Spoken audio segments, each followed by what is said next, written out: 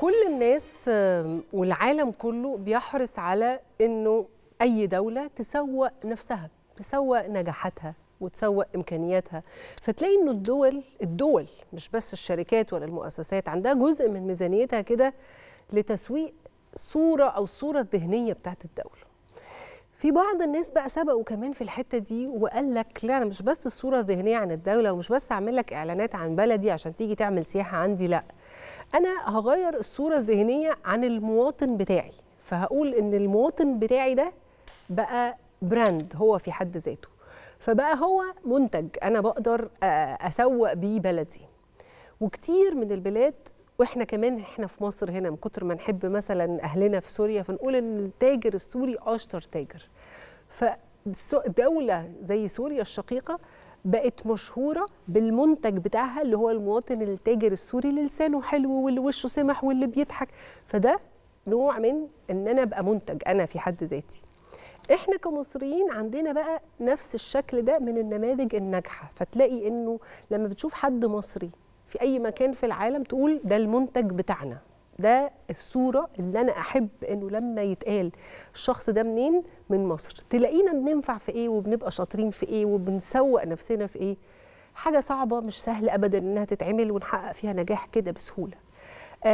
حاجة إنسانية وتبدو إنها يعني محتاجة شوية مجهود زيادة فتلاقينا قادرين نحط نفسنا بقوة على الساحة فيها. إحنا عندنا بالفطرة المخزون بقى سميه بقى الثقافي سميه التاريخي اللي بيخلي البراند المصري بينجح في حاجات مهمة جدا. عشان كده بقى أنا ما بحبش خالص فكرة إنه والله بينجح عشان هو هناك الظروف تنفع إنه ينجح. لا هو كمان بينجح طبعا عشان الظروف مناسبة ومواتية وفيها تقدير حقيقي لل- للجهد المحترم.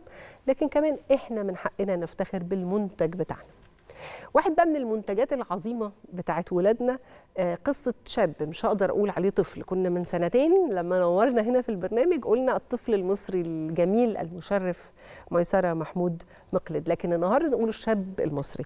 آه، ميسرة آه، حصل على شخصية العام سنة 2020 في النمسا. وطبعا 2020 حضراتكم فاكرين يعني أزمة كورونا. في قلب أزمة كورونا ميسرة كان شخصية العام لأنه هفكركم اللي مش فاكر حكاية ميسرة كان بيعمل خدمات اجتماعية وكان بي بيشجع على أنه يخدم كبار السن ويشتري لهم الحاجات وبالتالي حصل على شخصية العام في النمسا 2020 النهاردة ميسرة بقى عنده حاجة عظيمة وأنا عايزاه هو اللي شخصيا يقولها لنا. فالأول خلوني آه، ارحب بيه واقول له منورنا ميسرة معانا عبر زوم من النمسا. مساء الخير عليك يا ميسرة. مساء النور. مساء إيه؟ مساء الفل. لا خلاص انت زينة الشباب. ربنا يبارك فيك. إيه اللي زقك بقى في السياسة؟ انت خلاص بقيت سياسي دلوقتي؟ احكي أنا لي. عارف. احكي لي السنة دي 2020 آه، انت عضو في برلمان الشباب في النمسا. احكي لي بقى. بالظبط. أنا عشان بقيت شخصية العام 2020 آه، في النمسا آه. خدت الفرصة أشتغل في رئاسة الوزراء في 2000 في السنة 2021 في الصيف أنا وما عنديش مدرسة شهر. اشتغلت شهر هناك بقى و هم مش عارف إيه بس عجبوهم آه، شغلي وعجبوهم بتعامل إزاي مع الناس وبتكلم معاهم إزاي وكده. وعشان كده خدت إيميل واتصال اللي هيعملوا هم دلوقتي برلمان آه، للشباب هنا في النمسا. واللي عايزيني أنا أبقى معاهم فيه وأشتغل معاهم فيه. حلو قوي بقى أنا شفتها دي آه، فرصة حلوة عشان أم، حاجة مهمة للشباب برضو يعرفوا يقولوا حاجة ويعرفوا يقولوا رأيه آه، بتاعهم مم. على كل حاجة اللي بتحصل في الدولة. طب. عشان كده أم، بدأت في ال- البرلمان بتاعت الشباب. ولغاية دلوقتي عرفنا آه، والله نشتغل حلو مع بعض. كنا عندنا لغاية دلوقتي برلمان واحد يعني زيتسون واحدة قاعدة واحدة. اللي برضو جميع الناس كانت فيها واتكلمنا حلو. ودلوقتي هتبقى في آه، أعداد كبير كتيرة. اللي هنعرف نتكلم ع- على جميع تيمة وتوبيك بالظبط. برلمان الشباب المقترح ده حاجة جديدة في النمسا مش كده؟ السن صحيح. سن الشباب اللي موج... اللي فيه قد إيه؟ من كام لكام يعني؟ هي 16 لغاية 22 كده على ال- الله. ال- آه ده السن اللي كله حماس ومؤثر وممكن يعمل آه، هم كده. تغيير حقيقي. يعني في برضه بروجرامز للعيال اللي اللي في- اللي سنهم أقل من 16 سنة آه. اللي بقى حاجة زي اللاعه بيعرفوا دولة بتشتغل إزاي وايه شغلها وكده. كده لاعه ده ده عظيم.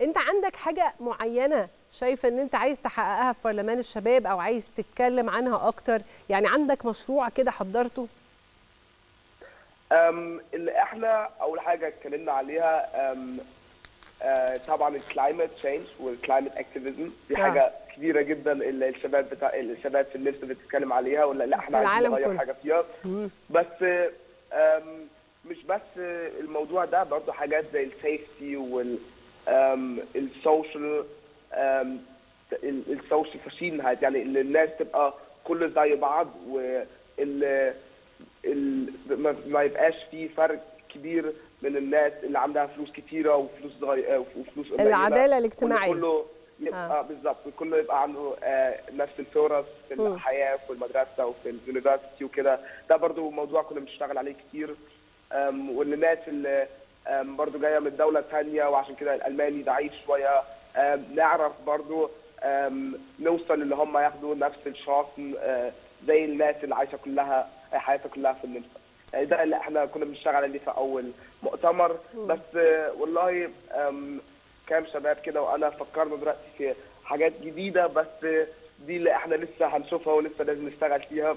عشان أعرف أقول لكم في الآخر ال... لا أنت تشتغل براحتك وإحنا هنسمع منك طول الوقت. ف... طبعا طبعا. أنت كمان سفير مبادرة اتكلم عربي مش كده؟